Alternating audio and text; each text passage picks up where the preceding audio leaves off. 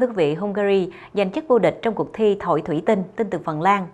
Vào hôm thứ Bảy vừa qua, 28 thí sinh đến từ khắp nơi trên thế giới đã cùng tham dự giải thi đấu thổi thủy tinh lần thứ 18, được tổ chức tại thị trấn Littala của Phần Lan.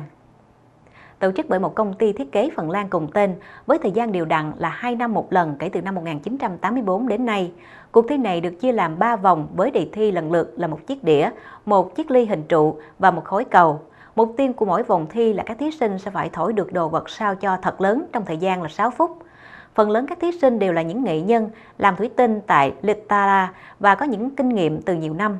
Theo các nghệ nhân này cho biết, kỹ thuật thổi là yếu tố quan trọng nhất. Tuy nhiên, sự tập trung và cảm giác nhịp nhàng cũng không thể xem thường. Phần lớn của cuộc thi năm nay đã thuộc về Joseph Ufalusi, một thí sinh đến từ Hungary.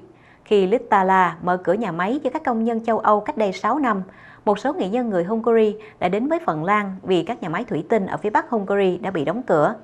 Littala là một thị trấn nhỏ nằm cách Helsinki khoảng 120 cây số về phía tây bắc.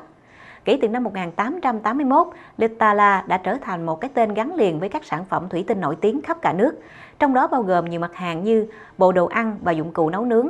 Cuộc thi thổi thủy tinh được khởi nguồn từ một kiểm tra chất lượng sản phẩm giữa Phần Lan và những người hàng xóm phương Tây. Nó đã được mở rộng thành một cuộc thi đấu chính thức vào năm 2008, thu hút được rất nhiều thí sinh đến từ khắp nơi trên thế giới.